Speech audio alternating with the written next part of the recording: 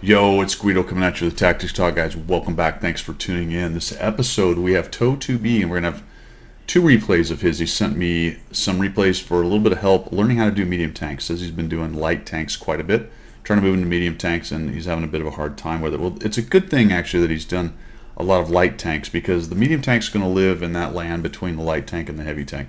It can go to the heavy tank places and do some heavy tank things, not as well and it can do some of the light tank things not as well. And a lot of people say medium tanks can do everything a light tank can do, but better. That's that's not true. Carrying your camo while moving allows light tanks to get into places medium tanks sometimes can't get into, or get closer to enemies that light tanks cannot get close to. It also doesn't have enough armor to be a heavy tank, so it is, like I said, straddling the line between those two classes. The big thing that it has the big thing that the medium tank has is that it can bring the fire support much like a heavy tank can, slightly worse, but it can also move around the field better than a heavy tank. All right, so using a medium tank's mobility, using its firepower and its mobility, requires you to think a little bit different than you do with a heavy tank and to be a little bit more heavy tankish than you would with a light tank. Meaning you can hold positions with a medium tank, where in a light tank you would probably run off and try to get away. So we're going to talk a bit about the mobility. Nice initial positioning. I will tell you here, Toe, is I like to be, so I get my, where the IS-2 is, that's where I like to go on this map. This is an okay position, but it really, it really relies on people like this KV-4 to continue to come around that corner. And if I go too far forward, I might get shot from off to the right here. Let's see how Toe works this. He does know there's a few bushes here that can keep him unlit on occasion if he's careful. So we need to talk a little bit here about your mobility and how to use it. And then we're going to talk about, because the, the medium has some mobility, how it moves from target to target. TS5 decides just to drive across the middle. Nice job, put a shot into him. He's going to get around that building before he can do anything. You don't sell out because you know the KV-4 is there. Now let's stop right here and go, okay, what, what do we got going on? We have a 42-57 over here. We have these two guys pushing the IS-2, but they are on the other side. The KV-4 hasn't done much. We have still have a couple guys hanging out over here, the Sturv and the M4. I think I would have immediately moved over and seen if I could get shots in the 45, 57 over there. I see you looking there, maybe thought about it, and then you come back into here. So I'd have gone over there and tried to clear out because what we want to do, like I said, is it's a relatively mobile medium. I'd like to move to the places I need to. You can see he just took a hit. So it would be nice if I could go over there and finish him off. Let's let's look at the threats, prioritize what threats that I can get to the fastest, get some hit points, and then neutralize that threat and move on. I think that medium pushing back in there was the first one but we end up surviving. We get a little bit lucky that the KV-2 does not actually get a shot on us. So we drive right back around the corner, and we actually eat a shot from the KV-2, but it doesn't pen. Notice that that medium is still futzing around back there. As long as my guys are up, and it's over here, right? As long as my guys are over here messing around with that 45, you know, what the heck is it, 4257, their guns aren't helping us with the front. So we, we need to clear that problem out. We're starting to lose 1 to 4 right here. But we're going to come around here and do a nice job taking out the E2. So that's good. Now, where do we go from here? Okay, good. The 45 thing is dead or will be soon. Is he not quite dead yet? Nope, he's pushed in. He's actually chasing down our Pantera. And that's really bad because that's one of our tier 8s. The Pantera is back there messing around with a tier 6 medium that's pushed into our backfield, and that takes firepower away from the team. So I really think you should have prioritized that right there. Nice job on the E2. And now what do we do? All right, well, this guy's sort of pushing in, and we we tempt fate, and we get lucky again. To be quite honest, that was about five, maybe what, six, eight hundred hit points you probably should have lost between the two shots that came in there. Closer to 800, I'd imagine. But we get away with it, and what are we going to do with it? We're going to see the Tiger C moving in. Is he going to come around the corner? Eh, nope, he's going to die. All right, that's good. So that's neutralized. Now what? TS5 is right there. The 1375 is messing with him. The IS-2 is pinned down in the little nook. And there's a KV-4 on the other side. So you see this, and then we kind of come around here, and here's what I didn't understand. That, that TS5 is coming around and starting to take on a 1357, and I'm wondering why you would go to the same facing as the TS5, right? We come around and we just give him a slightly different angle, but not a completely different angle. Nice job sneaking that underneath there. I had a dab two right here. I need to get that firepower. I, I need pens on this TS5. We get him tracked. That was really well done. That's a light tank skill right there. That's a good thing to have. He can't quite get his gun on us, and that's really nice. Now we're tracking and damaging. You can see he's going up underneath the fender right there into the hole. Another shot doesn't quite get him, but he gets shot from behind by the M449. All right, now what? Look at this. We're starting to get more parity at 6 to 6. We have a T69 to deal with. There's a Borovsk raging around the back and a KV4. Those are the three main ones. There's a T43, Hellcat, and JPZ round. And there's artillery. It is time to gang tackle this KV4. The T69, obviously, we need to watch him. But what happens is we kind of come around here and we sort of ignore the, the KV4. So we're going to say, all right, can we get a shot on the T69? No, he's not there. Okay, so we can't, no, he's over there. And we'll just back up. And our TD pushes in on the KV4, and then we finally go. So I would have made a direct line for that KV4. There was three of you over here. Avoid getting shot by the T69. Now, here's the thing about mobility on mediums that you need to start working on. And I think you probably would have done this with a scout. I'm not really sure why you didn't do this with the medium, but instead of just coming in here and trying to tuck up on this rubble, and maybe you just realized late that the rubble really wasn't all you wanted it to be. Either either tuck into this better cover over here or just go up and around this guy and force him to start moving his turret around because you're just really letting him have shots right there. So I would have shot him, gone on by him, make him turn his turret, maybe his hull, potentially got past his gun, and we may have been able to kill him before he got shots. All right. So now what's the next thing to worry about? Either the Borovsk or the T69, and for my money, I'd probably go try to clear the T69 out of town, out of the town, as opposed to leaving him alive. So we're going to head off this one when we get hit by him. And we start trying to get out of the way. Thank goodness he must not have had a whole clip so we'll go over here and we'll turn around. Looks like maybe we're thinking about going back towards them and we see the T-43. Target of opportunity, not a bad idea. The Borovsk is uh, working over our guys in the backfield, unfortunately.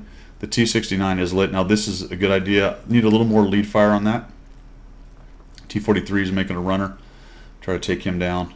There we go. And what's next? What's next is go immediately for the T-69, but I would not have gone this way. The reason I would not have gone this way is this big open field and we don't know where those TDs are and more than likely they're sitting back pretty much out there somewhere. All right, plus there's three artillery. We're kind of out in the open and we just absolutely get shredded here. So I think even more so than those guys that may have been back there, because they could have been anywhere back on the back red line here, was more more of the arty. If I get spotted here, I'm out in the open. I think I would have tucked up against these buildings and headed back towards the T-69 through the southern part of town covering up against both arty and TDs.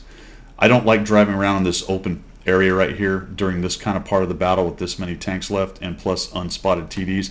I try to stick around through the buildings on the southern side if I'm messing with somebody who may be back here, plus the arty cover is the big one as well.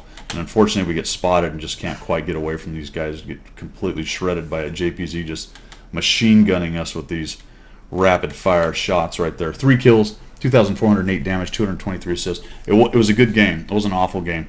I just thought it was a little bit uh, misprioritizing on the guys you want to go for in there.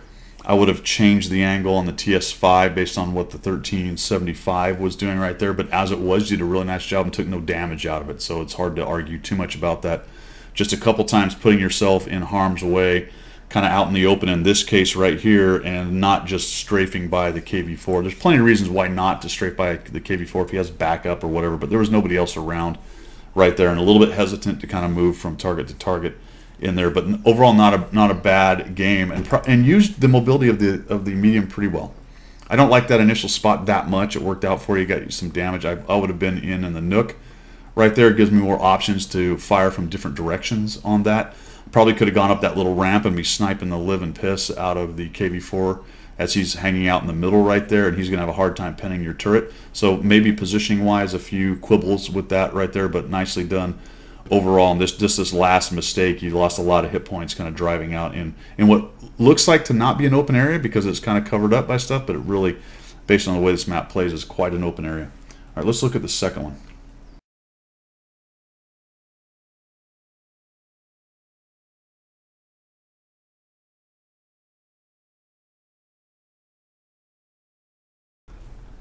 All right, the second game is uh, pretty quick. it's up being a win, but it's a positioning problem for Toe2B. He is here on Westfield, spawned into the northeast, and he spawned down below where the mediums and the light tanks spawn. Why? Because it's mostly mediums and light tanks. He has a prototype up on the top up there. That's basically a heavy tank. He has a bunch of TDs. There's himself a Lorraine, a Pantera, and a Pershing, as well as a Progetto. It's just all mediums and TDs. And initially I saw him headed this when I went outstanding toe is looked at this setup and said, all right, I'm pretty much the heavy tank here. I have a good turret, great depression. I need to try to get up there into the northwest and help win the top. Excuse me, help win the top. That's not exactly what happens. I think he sees that there's only one proto up there and decides that he doesn't want to go up alone. Okay. Yeah, he just wrote weird down on the bottom left in the chat because it is weird. It's a weird setup. So what do you do? Do you hang out here on the backside? Do you push up and try to help the prototype? Looking at the enemy setup, I think I probably go help the prototype, especially right now. If I look down there and I say, interesting, look how many mediums of their mediums they've pushed. The Progetto is actually on the bottom edge of the town. The 4202, the other Progetto, the Senlac, and a couple other mediums are all over in the south. I think had he pushed up with the prototype and acted more like the heavy tank, remember we talked about medium tanks can be heavy tanks in certain situations, he'd have been a lot better off. There were also a couple M40 43s. Another option was to sit on the back side right about where he was with the TDs, hopefully get some shots as the prototype comes in. But he's decided, it looks like, to cross over and see if he can help his guys who are kind of getting beat up. His his scouts headed towards the southeast. So we're going to come over here and then we're going to keep pushing. And I know this position gets used a lot by some of the, the bigger streamers and the very good players. It does provide shots both ways, but I don't like it because it is so reliant on the on the friendly team to get you lights. You're, you're not going to do any kind of lighting yourself here unless somebody else comes right up to you, like say the Progetto or somebody else red. So you're relying on your own your team to give you lights, and it doesn't have a lot of flexibility. Yes, you can go both directions, but it takes a while to get to those positions. So let's see what he does here. And it's not a great situation for his team. They're not they're not positioned very well, and he just kind of keeps pushing in. And I'm thinking, okay, well, ooh, and that's the problem right there, right? We just got hit from the side from the Progetto. We get hit twice. The Senlac, the Su-130, then we get hit again. Getting hit from, oh boy, and now we're, uh, we've got 1100 spotting and we're going to back out. And unfortunately, when we back out like this, everyone who's over there has shots on our side. And we're trying to not get killed. Oh, there's another Sioux right there. We'll get a shot on him. There's our first damage, 227 trying to survive, and boom, the M4043 nukes us from the red line down there. So, yeah, that was a really fast game. I, I liked the initial thought of going up top. I would have pushed up and helped the prototype. If that didn't work, I would have stayed. If I didn't, if I looked at that and went, well, I don't think I can get up there, then I would have stayed with these guys. And then when you moved across, it was not a bad move, but I would have stayed back a little further north and come across here and get lit up. It was just way too early with that many guns in the game right there and your team's doing okay. This ends up being a win for them. Actually, they've knocked out some some pretty good numbers. Another longer, long game kind of possibility was get up to the top, look at that, and go, all right, not enough going up to help him. Go back down the bottom and come back up and help these mediums over here. It looks like you're covered on this part of town, right? Down here on the southeast part of town, you're probably covered. So either help these TDs, help these guys over here, or still for my money, I would have pushed right up and helped this prototype to try to hold down that north part right there.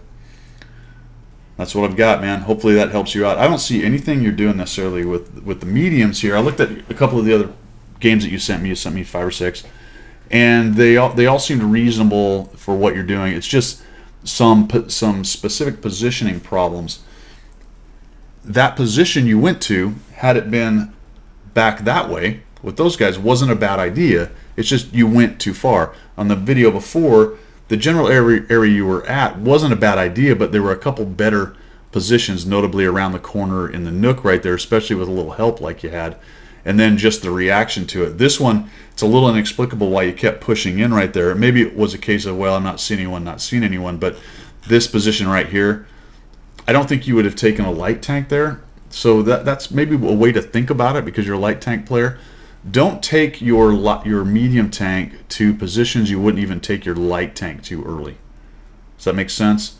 I don't think anyone would want to take a. Maybe you have taken a light tank there and done well, but there's no cover. So somebody sitting on the back edge like the Su 130s, you got him dead. That was nice, 1500 assists. So I mean, it's not a complete wash of a game. Could have been a lot better, obviously, had you lasted a little bit longer. But try not to to force the issue. One of the things might be that you're thinking, well, I've got a more robust, better tank. Maybe I can be a little more aggressive. Just dial that back slightly in certain cases, and I, I think you'll be doing fine. All right, man. Appreciate you sending those in. I hope that helped. That's all I've got, and we will see you.